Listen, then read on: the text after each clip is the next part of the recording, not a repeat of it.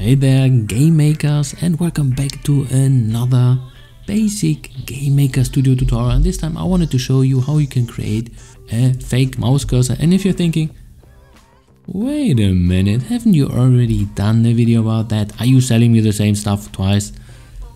Uh, yes and no. So if you want to know the difference between well, this video which I already did fake mouse cursor and the let's say new approach because this is kind of similar but it's different. Yeah let's be very vague about everything.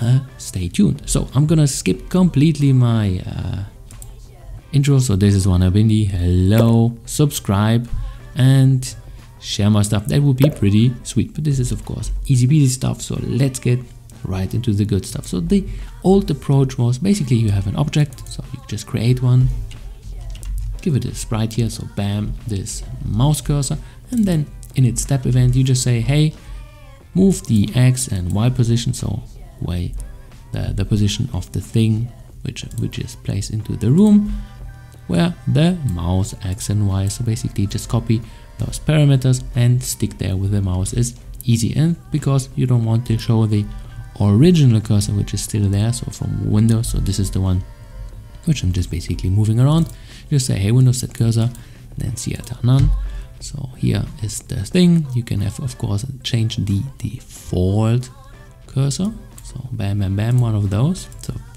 this cursor is being shown normally when you hover over the window of game maker studio. So this will be shown anyway. Of course you can uh, say no I don't want it. I just want to have my little object as kind of a fake mouse cursor. So this is the old approach.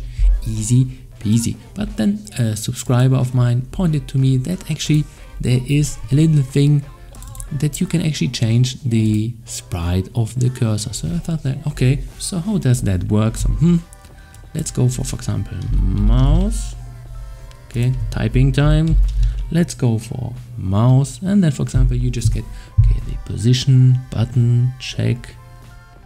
No, nothing with the sprite. So maybe right. Then mouse merge no this doesn't work as well.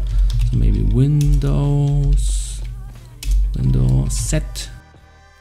And then you can just change the cursor. This didn't work but then actually there's an easier version and I didn't kind of come up with it.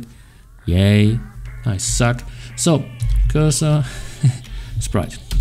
Yay. So basically you can actually change the cursor sprite. And let's give it, for example, a crosshair. Now let's go for the B. Let's give it a B. So here, did I put in the room? Yes. So let's start it again. Then you will see that it kind of works, but uh, now you're having the B flying around. This is your new cursor. It's so yay, yay, yay, yay.